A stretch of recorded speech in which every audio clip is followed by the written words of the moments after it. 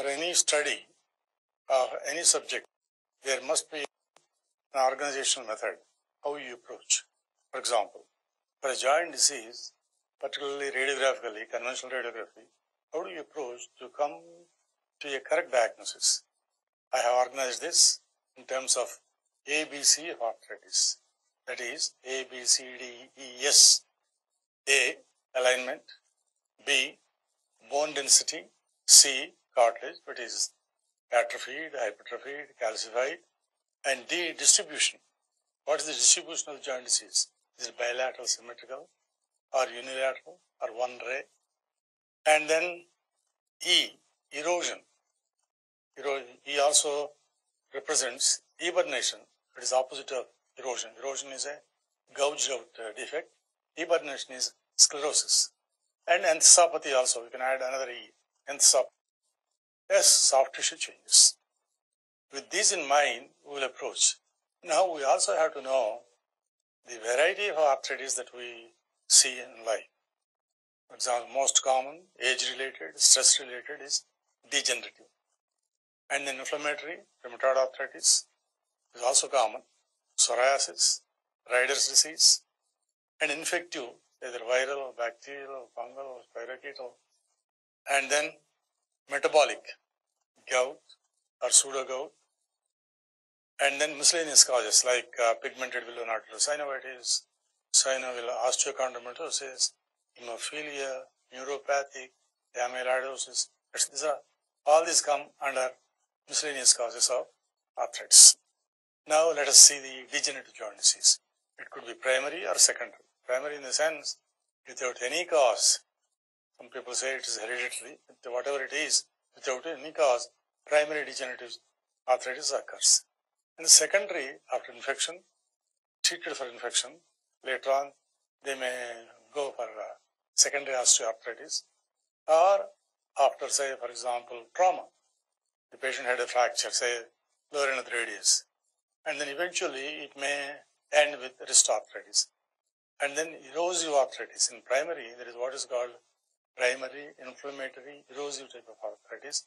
It occurs generally in women, post-menopausal women, and it runs in families also. Often it involves the hands, distal interphalangeal joints of the hands, maybe proximal interphalangeal joints of the hand, occasionally the knee and the cervical spine. As I said earlier, secondary degenerative joint changes may be post-traumatic, post-inflammatory, or even post-infectious. Treated rheumatoid arthritis eventually may end up in degenerative arthritis. What are the radiological findings? As soon as you see a conventional AP view of a wrist or a lateral view of the wrist or any other joint, how do you recognize degenerative joint disease? Narrowing of joint space. Why? What is it? What is joint space? It uh, includes cartilage. Because cartilage is radiolucent, you see the joint space. That cartilage, when it is thinned, the joint space is narrowed. If it is completely atrophied, the joint space is obliterated. Peripheral osteophytes, marginal osteophytes, as though to support a weak joint, buttresses occur on the sides of the articular margins. Then subchondral reactive sclerosis. Again, reactive sclerosis occurs subchondrally to support the joint. Depression of lateral edge with reactive bone changes. And then also geode formation because there is pumping of uh, intrasynovial pressure into the articular margins. Uh, then you may find small lucent areas. These are called subarticular cysts or geodes. It may contain, uh, contain serous or serous of fluid on dissection. And then what are the target areas? Degenerative joint disease, what does it uh, hit? Distal interphalangeal joints. That's how we know primary degenerative joint disease or primary osteoarthritis they call it. In the distal interphalangeal joints, unless you're a piano player or a harmonium player, generally there is no stress. But still in degenerative, primary degenerative joint disease, these distal interphalangeal joints are the targets. And then proximal interphalangeal joints. And then for some reason, the first metacarpal phalangeal joint also. Medial femorotibial joint, patellofemoral joint, and then hip and spine. These are the target areas for degenerative joint disease.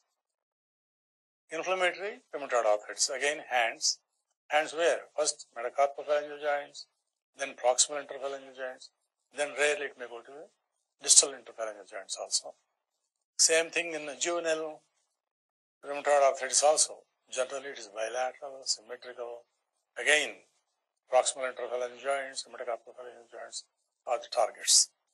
Non-rheumatoid, for example, juvenile reactive arthritis. And nobody exactly knows. Uh, people blame for chronic uh, infection, either sinusitis or some other uh, infection. But these people develop juvenile reactive type of arthritis. There may be erosion, there may be sclerosis also later on. Early rheumatoid arthritis, what are the changes? After all, diagnosis, you have to diagnose early. Early diagnosis is early cure. Soft tissue swellings, this soft tissue swelling is bilateral, symmetrical, like a spindle shape, soft tissue swelling. Wide joint space because there is fluid, first of all, and then synovial reaction, so the joint space may be slightly widened initially. Loss of cortex of metacarpophalangeal joints on the radial side first, it starts on the radial side, and then para-articular osteoporosis. So remember, para-articular osteoporosis is the early sign of acute rheumatoid arthritis. There are several reasons for this. It may be immobilization, it may be synovial hyperemia that produces osteoporosis. Whatever it is, that is the hallmark of early rheumatoid arthritis. And then what are the target areas? Which are the joints that, uh, that are bitten, so-called bitten by the rheumatoid arthritis? Metacarpophalangeal joints, and then proximal interphalangeal joints, wrist, carpus, all the joints in the carpus, and then metatarsophalangeal joints, and fifth toe early on. Bilateral symmetrical involvement of the knees, generally, although has been described, monoarticular rheumatoid arthritis, that is rather rare. It may be the beginning of a polyarticular rheumatoid arthritis, but in general, it is bilateral, almost symmetrical, involving the knees, hips, shoulders, C1, C2 joint, temporomandibular joints, etc. Now we come to the group of collagen vascular disorders. What are these? Again, rheumatoid arthritis is the first uh, thing. Scleroderma or progressive systemic sclerosis, lupus erythematosus, dermatomyositis, and mixed connective tissue disorders because one may overlap with the other. For example, scleroderma, rheumatoid arthritis, lupus rheumatoid arthritis, like that. There's some overlap. Then we come to this axial skeleton, spondylo arthropathies they call it. And these are one, ankylosing spondylitis, it could be juvenile or adult, psoriasis, Reiter syndrome, and spondylitis associated with ulcerative colitis or any other inflammatory bowel disease such as Crohn's disease chronic dysentery. And in women with pelvic inflammation also we can get spondyloarthropathy. And then we come to the metabolic and endocrine causes. Gout, metabolic cause. And then polyarticular CPPD, CPPD is crystal pyrophosphate deposition disease. And acromegaly, hemochromatosis, iron overload, ochronosis, otherwise called alkaptonuria, Wilson disease due to copper deficiency, and hyperparathyroidism. These may also produce some of the changes in the joints. Infective, either viral, of course today the smallpox are completely eradicated. Polio indirectly because of the muscular atrophy, you may get some joint changes. But bacterial, pyogenic is the common. And then tuberculosis is also common. Fungal diseases, actinomycosis, aspergillosis, nocardiosis, spirochetal. Today, syphilis is uncommon, but uh, occasionally you may see this. And then yaws, of course, in tribal areas, very rarely you see yaws. And then parasitic, hydatid disease. Guinea worm occasionally may migrate into synovium, may produce a joint disorder, but of today it is almost erratic. Neuropathic, either congenital, insensitive to pain, asymbolia they call it, or myelomeningocele, either myelocele or a myelingocele or spinal disease it may produce neurological changes, may produce neuroarthropathies. I already said the congenital indifference to pain, and then these are congenital causes. Acquired central neuropathy, either injury to the spinal cord or brain, syringomyelia, and then neurosyphilis, spinal cord tumors, and spinal cord infection also occasionally may produce neuropathic joint. Peripheral neuropathy with the diabetes mellitus, leprosy, and even peripheral nerve injuries may cause neuropathic joint disease. Other causes, scleroderma, Raynaud's disease, Ehlers-Danlos syndrome with multiple dislocations and eventually resulting in uh, neuroarthropathy, even osteoarthritis, primary osteoarthritis or secondary osteoarthritis, prolonged, particularly with pain-killing drugs taken over the time, it may result in neuroarthropathy. Rheumatoid arthritis, psoriasis, amyloid infiltration of nerves, adrenal hypercorticism, and then iatrogenic prolonged use of pain relieving drugs. Non-steroid drugs also may produce a neuropathic joint. And then, for example, take this uh, rheumatoid arthritis. There is a thinning of the acetabulum. There is telescoping of the head into the acetabulum. Multiple erosions, almost complete, not a complete resorption of the acetabular cortex and femoral head. And then we come to the bone density, para-articular osteoporosis. I said actually the para-articular osteoporosis, its presence or absence makes a difference in making a differential diagnosis of the joint disorders. Typical para-articular osteoporosis in acute rheumatoid arthritis. In chronic rheumatoid arthritis or burnt out rheumatoid arthritis, you may not find that, but acuity, acute or acuity of the disease can be diagnosed by the presence of para-articular osteoporosis. Hunger osteopathy, people with starvation, partly because of the hypoproteinemia, partly because of the immobilization, you get para-articular osteoporosis. Infection, either staphylococcal or even tuberculosis, for example, to tuberculosis of the tarsal, mid-tarsal joints, and you find osteoporosis, para-articular osteoporosis. Rheumatoid arthritis, we have already mentioned, and lack of para-articular osteoporosis is also important in making a diagnosis. For example, degenerative joint disease or osteoarthritis, you don't find para-articular osteoporosis. For example, look at the distal interphalangeal joints of the hand. No para-articular osteoporosis. Knee, no para-articular osteoporosis.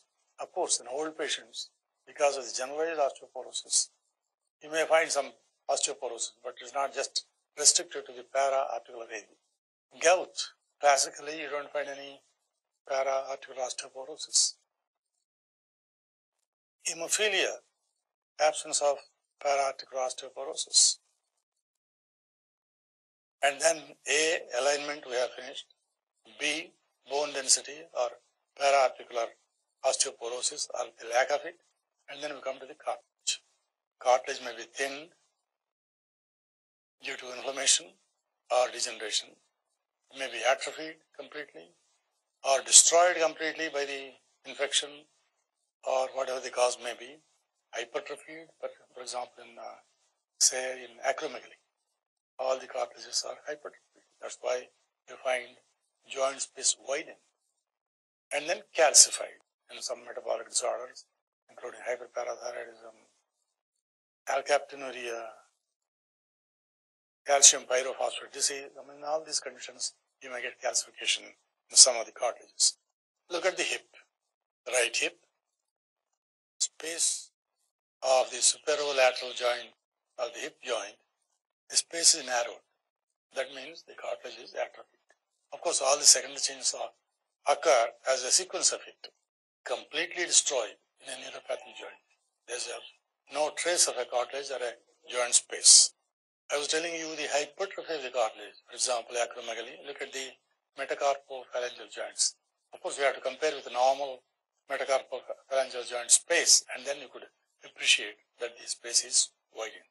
Chondrocalcinosis, calcification of the cartilage, pseudogout, calcium pyrophosphate deposition disease, gout, ochronosis, alkaptonuria, hemochromatosis, hypophosphatasia, hyperparathyroidism, and in ordinary in old people, say after 60, 70, you may find physiological calcification in some of the cartilages.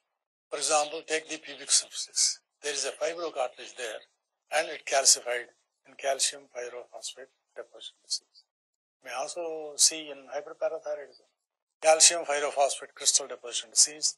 What are the target areas? Generally the knee, particularly in the human being, the wrist, shoulder. Take the radiograph of the wrist, the triangular fibrocartilage at the distal articular margin of the ulna is calcified. Usually, even in physiological conditions, it may not show calcification, but this clearly indicates that there is a calcium pyrophosphate disease. It is called pseudogout because clinically it resembles all the symptoms that gout manifests. Again, calcification of the hyaline cartilage. Earlier, we have seen the fibrocartilage in the pubic symphysis and distal ulna.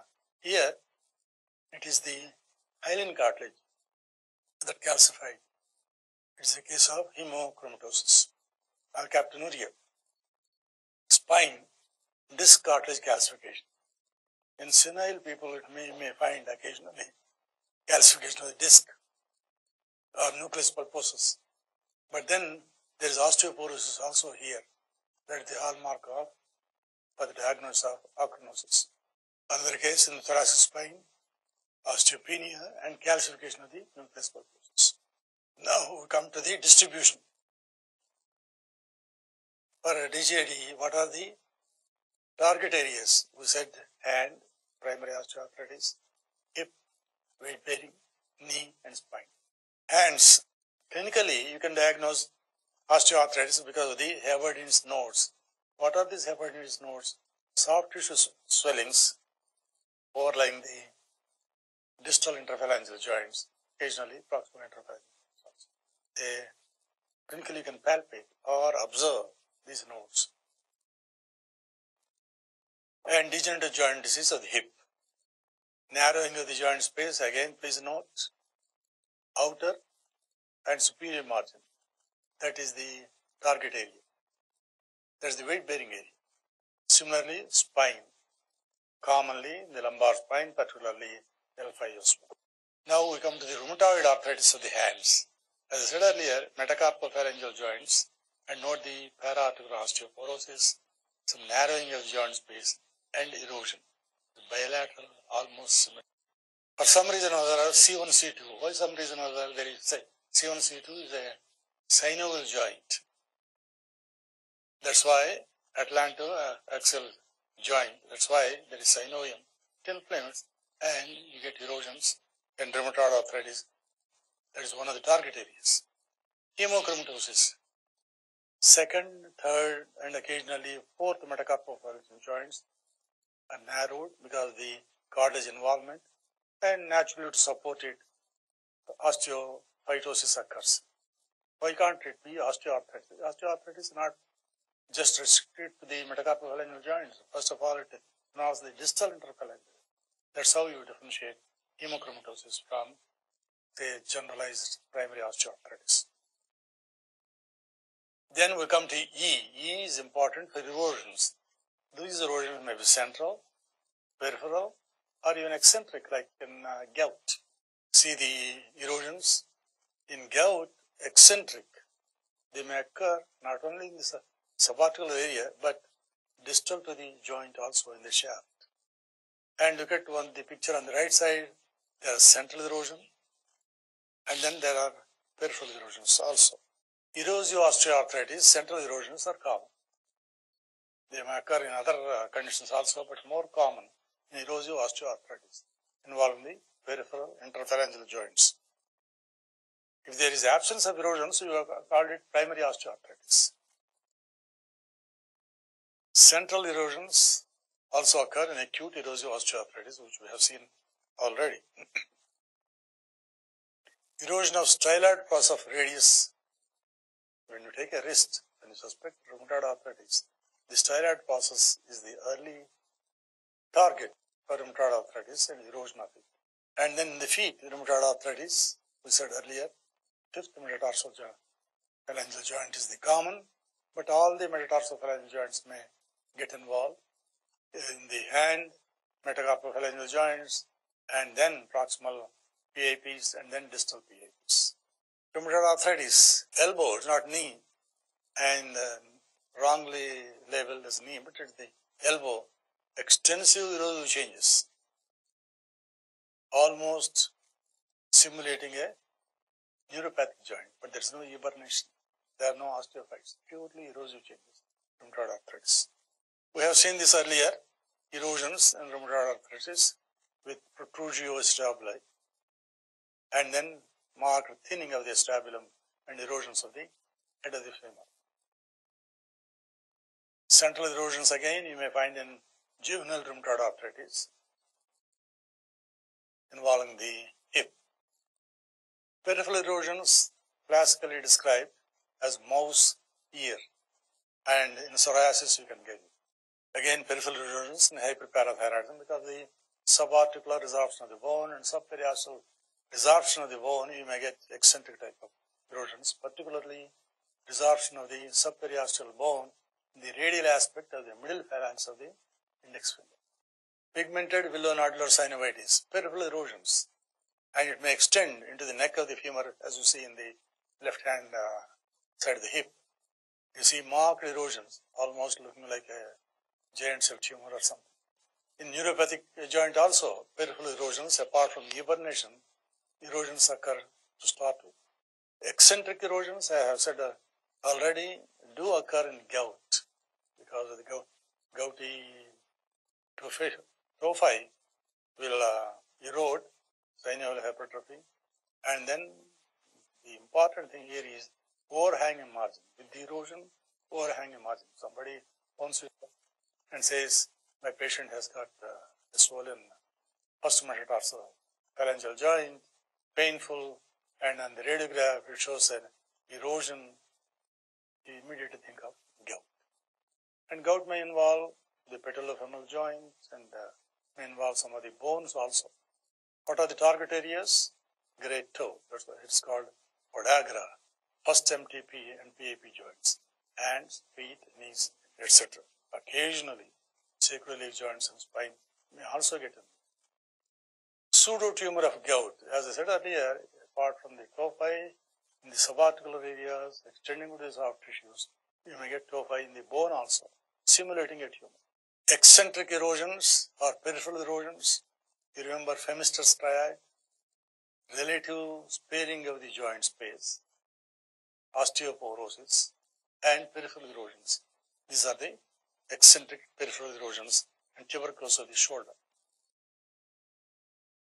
Now we come, E also represents not only erosion but eburnation. A combination of this, you can get erosion and eburnation in erosive osteoarthritis.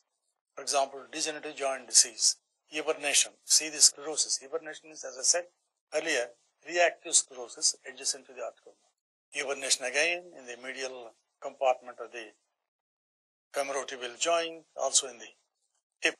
Apart from eburnation here, you find enthesopathy, osteophytes, advanced degenerative joint disease of the hip on your right side, and pubic symphysis, obviously this is post-traumatic because primary osteoarthritis does not occur in pubic symphysis. Post-traumatic, and that's why you get eburnation, small erosions, and osteophyte formation. Psoriasis, another example of a combination of erosions and reactive sclerosis. Bilateral, symmetrical, mostly reactive sclerosis, you can see. Same thing in the pubic symphysis also. Some reactive sclerosis is present, but the articular margin are still regular. Bilateral sacroiliitis, you can get in psoriasis, Reiter's, degenerative arthritis, spondyloarthropathies, as we have mentioned earlier, ankylosing spondylitis, etc. Hyperparathyroidism, erosive type of changes, rheumatoid arthritis, and in fluorosis. Usually it is sclerotic type of degenerative joint disease. And in all these, in spondyloarthropathies, generally the elaborated studies may help. In normal population, 5, 7 or 6 to 7 percent of the cases may be positive. In psoriasis, it goes up to 30 percent. In DISH, what is DISH? Disseminated idiopathic skeletal hyperostosis, almost simulating fluorosis, but the density of the bones is not that much. There also 34 percent is positive HLA. Ankylosing spondylitis, 90 percent, whereas in Reiter syndrome, 96 percent. So whenever a differential diagnosis arises, whether it is psoriasis or Reiter's, HLA-B27 may help. Not only that, in psoriasis, mostly it is the upper extremities. In Reiter syndrome, it is mostly the lower extremities, feet and knees that are ankles that are mostly involved. Now again, eburnation. Eburnation, as I said earlier, subarticular or articular sclerosis, as though to support a weak joint. A combination of erosion and eburnation, psoriasis. Look at the erosion, peripheral erosion of the proximal phalanx, and then the osteophyte and the reactive, irregular reactive sclerosis along the metacarpal head. Typical. Can't be anything else except psoriasis. Target areas again, hands and feet, sacroiliac joints and spine. Feet less common as compared with Reiter syndrome. Another example of erosion and eburnation, almost absorption of the proximal articular margins of the phalanges. And then associated with it, there is sclerosis. Psoriasis again, erosion and eburnation, a combination of both. It's not by, by it is bilateral but not symmetrical. Gout, narrowing of the joint space, eccentric erosions, no para-articular osteoporosis. On the other hand, there is eburnation. Neuropathic joint, classically no para-articular osteoporosis, erosions early on and then eburnation and ultimately subluxation and dislocation of the joint. Another neuropathic uh, joint, of course, it is superimposed by infection. That's why there is a periostal reaction, lot of new bone formation. And now we come to the S. A, B, C, D, E, we have finished. And now we come to S, which represents soft tissue swellings. This swelling may be fusiform, as we said, uh, in, uh, say, for example, rheumatoid arthritis, or it could be eccentric, like in gout. Calcification of the soft tissues may occur, and atrophy of the soft tissues, for example, in polio, tuberculosis, soft tissues may atrophy. Soft tissue swellings, rheumatoid arthritis, look at the spindle shaped soft tissue swellings in the phalangeal joints, synovitis. Marked para-articular osteoporosis, a child, knee, soft tissue swelling due to the effusion and synovial reaction, typical of an infective joint, particularly tuberculous synovitis. Calcification in the synovium may occur in tuberculosis also, only capsular calcification. But here, multiple nodular calcifications. It is called synovial osteochondromatosis. Generally, it involves one joint, but occasionally more than one joint may also be involved. Idiopathic. It is primary synovial osteochondromatosis because there is what is called secondary synovial osteochondromatosis also that occurs in degenerative joint disease. For example, take knee. Oftentimes we call them loose bodies. There are synovial chondromatosis which give them calcify and then ossify.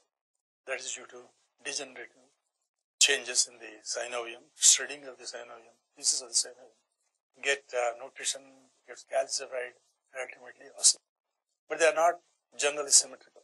Synovial osteochondromatosis, again, the capsule is calcified and several loose bodies in the popliteal bursa posterior. It may extend along the bursa, along the tendon also, not necessarily restricted. Wherever there is synovium, you may see synovial calcifications. And then we come to another entity, what is called peritendinitis calcarea, they used to call it, or calcific tendinitis.